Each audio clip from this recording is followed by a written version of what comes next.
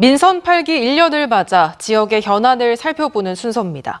윤석열 대통령의 공약인 우주항공청 개청이 국회 문턱을 넘지 못하면서 연내 개청은커녕 내년 총선 이후까지 밀릴 위기에 놓였는데요. 이종승 기자가 보도합니다.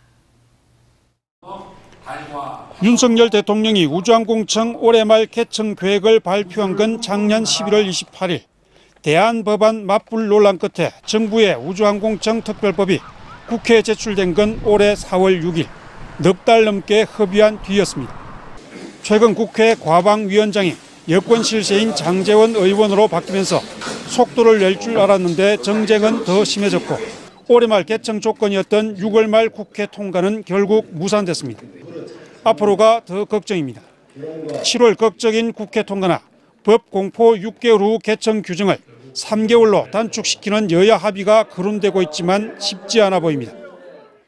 여야가 각자의 정책적 셈법에 따라서 각자의 그 목소리만 내다 보니까 우주청 설립에 대한 희망을 갖고 있는 저희들한테는 엄청난 희망 고문을 하고 계시는 게 현 중앙 정치인들이 작태다. 일본 원전 오염수 사태 등으로 이미 틀어질 대로 틀어진 여야 관계가 회복될 가능성이 낮기 때문입니다. 연내 개청은커녕 내년 총선 이후까지 밀릴 걱정을 해야 할 처지입니다.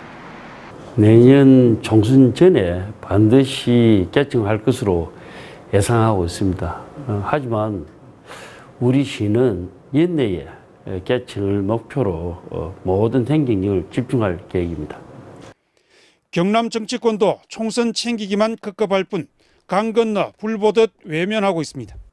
누리호 3차 발사 성공에 따른 우주항공청 조기 개청 기대감도 희미해지고 있습니다. 정부의 리더십이 없다 보니까 계속 새로운 미래 먹거리 산업이 표류하고 있다고 볼 수 있습니다. 이 시기를 놓치면 한국은 미래 항공과 우주 산업에서 또다시 후발국이 될 수밖에 없습니다. 윤석열 정부와 국회, 경남 정치권이 차선의 선택이라도 내놔야 할 다급한 상황입니다. MBC 뉴스 이종성입니다.